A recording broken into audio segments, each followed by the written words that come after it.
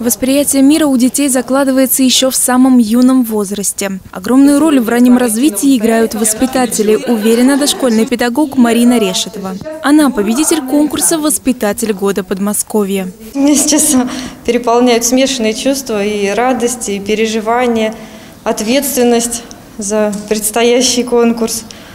А, хочется просто поблагодарить всех за предоставленную честь, за конкурс, организаторов конкурса – все было на величайшем уровне. Этот конкурс можно сравнить с праздником, которого с нетерпением ждешь. Работает воспитателем уже 7 лет. Любовь к детям – главная мотивация. В игре раскрываются способности ребенка, считает Марина. Поэтому основной упор в работе делает именно на игры. Воспитатели Сергиева Посада отправятся представлять Московскую область в конкурсе уже на всероссийском уровне. Я в шоке. Спасибо большое. 500 участников, пятеро лучших. В их числе Анна Юрова, воспитатель областной гимназии имени Примакова. Достойно представила Одинцовский округ на конкурсе и заслужила звание лауреата.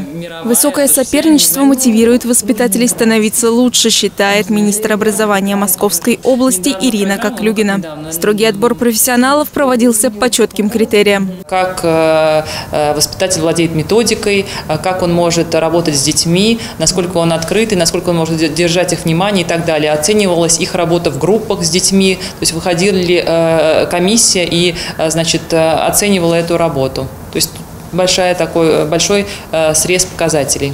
В неформальной обстановке министр встретилась с лауреатами конкурса «Воспитатель года Подмосковья». После награждения беседовали за чаем, обсуждали воспитательный процесс в дошкольных учреждениях и эпидемиологическую обстановку в мире. За будущее воспитанников у каждой из женщин болит душа, так же, как за своих детей. Эмилия Ракелян, Денис Харламов, телекомпания «Одинцова».